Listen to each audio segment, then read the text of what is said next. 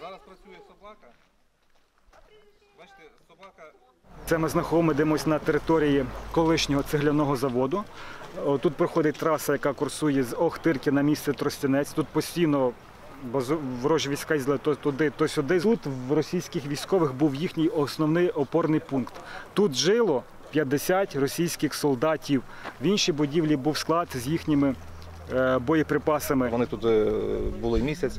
Це вони захопили панівну висоту, обстрілювали звідси і місто Ахтирка, і місто Тростянець. Танковий підрозділ було близько 20 танків. Собачка подала сигнал, що вона знайшла вибухівку. Після цього друга собачка підтвердила цей сигнал. Тобто на тому місці е, знаходиться якась, е, якийсь вибухонебезпечний предмет. Зараз е, начальник розрахунку перевіряє сигнал собак.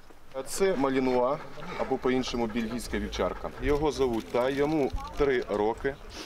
Він е, працює по виявленню е, вибухонебезпечних предметів.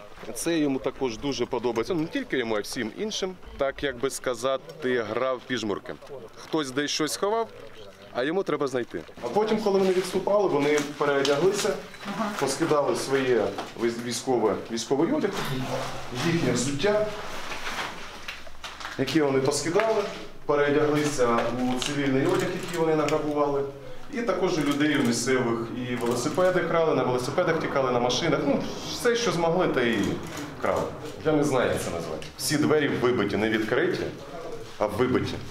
Вони навіть не знають, мабуть, які двері відчиняються в яку сторону. Тут е, людських слів, мабуть, буде замало, щоб ці емоції передати і подивитися те, що вони після себе залишають. Ну це нереально. Нереальний русський мір. Такого міра нам не потрібно. Виявила, да,